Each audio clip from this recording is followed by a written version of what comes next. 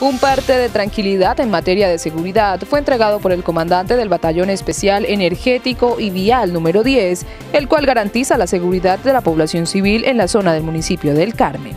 El batallón cumple una misión principal sobre el activo estratégico longitudinal del producto Caño Limón Coveñas.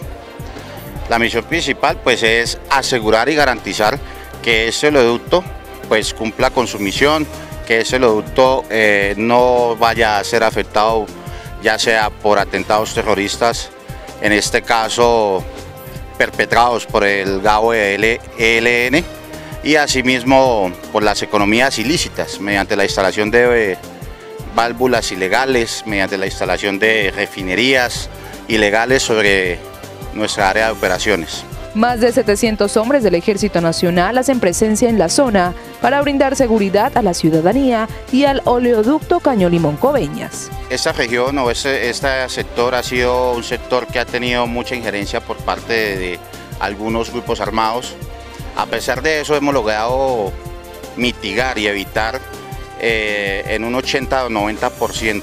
las afectaciones hacia, hacia la infraestructura como tal y hemos podido garantizar, el puesto de mando del batallón se encuentra en el corregimiento de Guamalito, en donde hemos podido mitigar eh, y evitar en gran parte y hemos reducido a un 100% los homicidios directamente sobre el sector del corregimiento de Guamalito. Sí podemos darle un parte de tranquilidad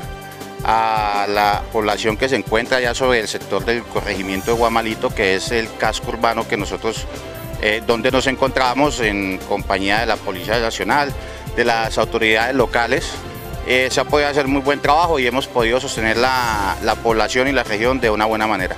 Por lo tanto, hombres de la patria continúan realizando sus labores operativas en esta zona para garantizar la seguridad de la población civil.